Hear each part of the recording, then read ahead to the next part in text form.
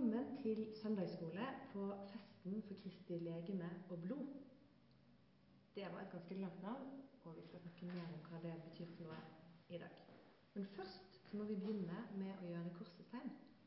I Faderens, og Sønnens og Den hellige ånds navn. Amen. Så skal jeg tenne lyset, og imens vil jeg du skal se litt hva jeg har her. Ser du kanskje at det ligger noe sånne her òg. Og så husker du at jeg sa at i dag så feirer vi festen for Kristi legeme og blod. Men hva har det med små hvite blomster å gjøre, tro? Det var litt rart. Noen av dere husker kanskje før pandemien, altså ikke i fjor, men året før, at dere kanskje har vært i kirken, og så har det vært en stor fest, ofte sånn i begynnelsen av juni, Ofte er det fint vær. Og veldig mange menigheter har en prosesjon den dagen. Og da bærer vi sakramentet ut av kirken og ut på gatene. Og da er det veldig ofte at det går barn og kaster blomster foran sakramentet. Hvis dere ikke husker det, så kanskje spør noen voksne. Kanskje, kanskje dere har gjort det i deres menighet, men kanskje du var for liten til å være med på det. Eller kanskje du husker det.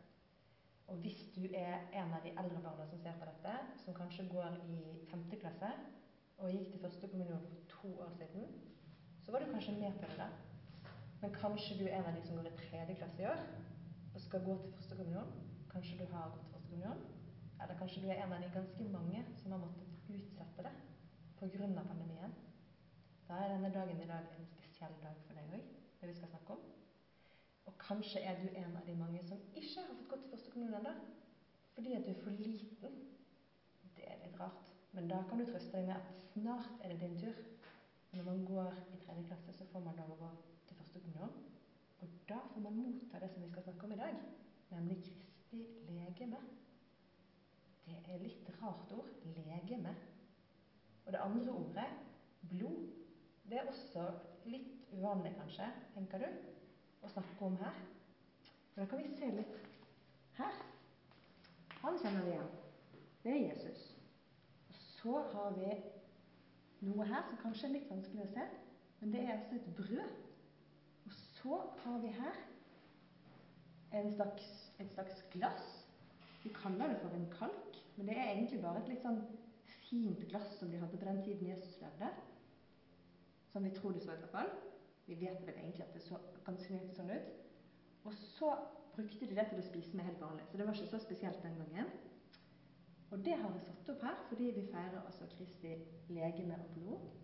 Og så skal vi få høre om hva sammenhengen mellom Kristi legeme og blod og disse gjenstandene her er når vi hører evangeliet.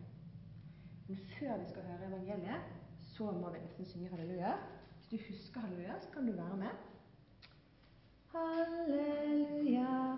Opphøy Jesus,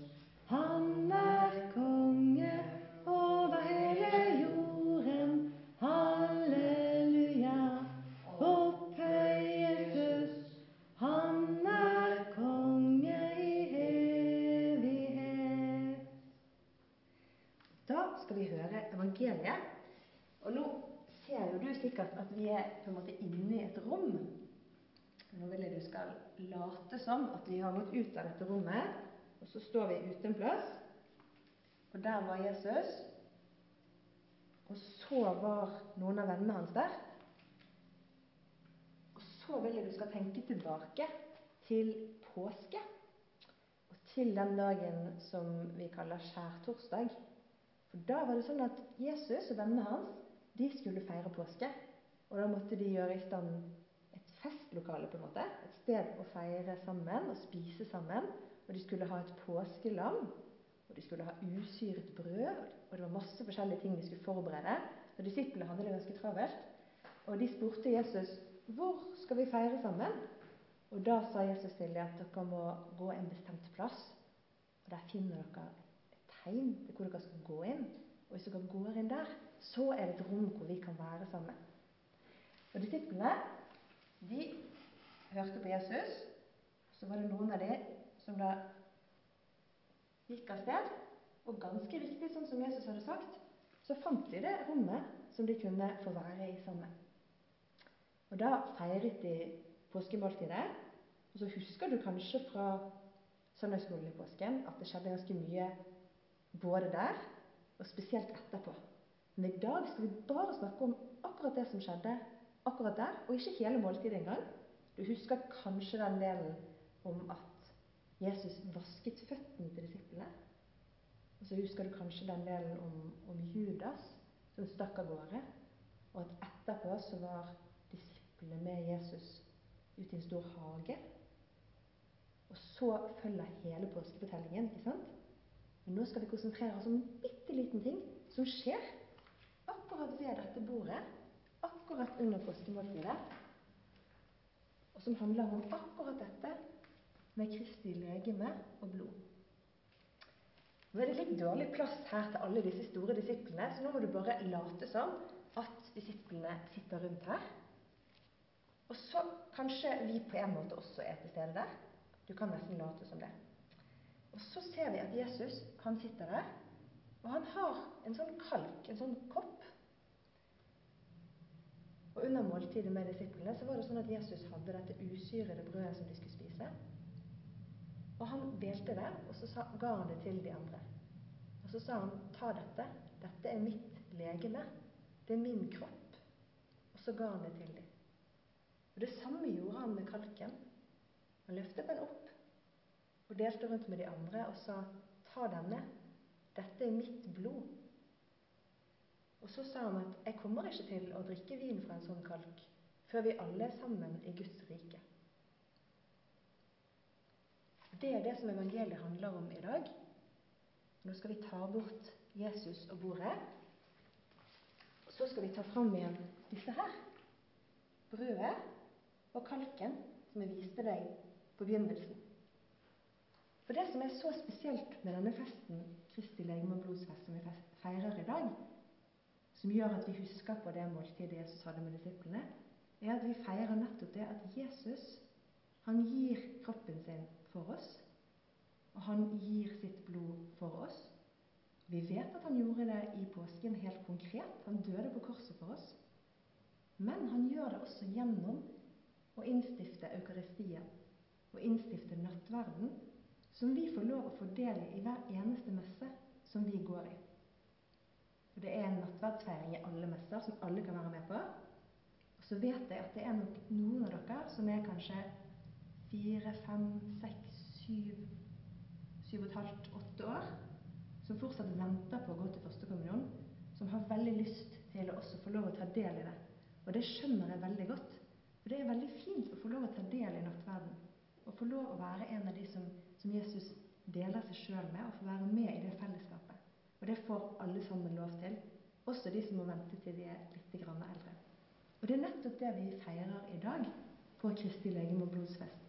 Akkurat det øyeblikket når Jesus innstifter nattverden, det at han gir seg sjøl for oss, og det at vi kan feire det i hver eneste messe, som egentlig er helt fantastisk. Så det jeg har lyst til at du skal huske på fra i dag, det er kanskje det er sånn at av og til når du er i messe, spesielt kanskje digitalt, kanskje du må se på sånne videoer, så skjønner du ikke helt vitsen. Men kanskje når du er i kirken, og når du får lov å høre klokken som ringer akkurat idet presten løfter opp kalken eller løfter opp brødet. At du hører de ordene som presten sier i messen, som er de samme ordene som Jesus sa. Da husker du på at dette, dette er noe av det største i troen vår. Og det er helt fantastisk. Og det kan være vanskelig å forstå. Og det tror jeg nesten er meningen. For det er et mysterium. Det er en slags spesiell hemmelighet som vi får være med på, som vi ikke helt klarer å forstå. For sånn er Gud. Han er større enn det vi klarer å forstå. Og det er utrolig fint å få lov å være en del av. Og så tenker jeg at det kan være greit å vite at også vi som er voksne, ikke helt forstår det. Og av og til så syns vi det er helt fantastisk, og av og til så glemmer vi det litt. Og sånn er vi mennesker. Jeg tror kanskje til og med det er sånn for prestene også. At av og til så er det helt supert og kjempesentralt og viktig, og de husker alt. Og av og til så kan det hende det bare blir en del av hverdagen. Og det er også helt greit. Men da kan det være lurt å minne seg sjøl på det.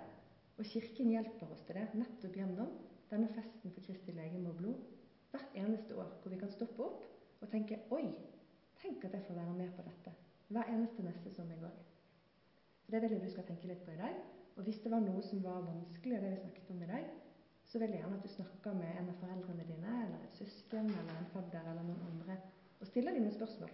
Kanskje ikke de vet svarene, men kanskje dere kan finne ut av det sammen. Da skal vi avslutte med å gjøre korsets tegn. I Faderens og Sønnens og Den hellige ånds navn. Amen.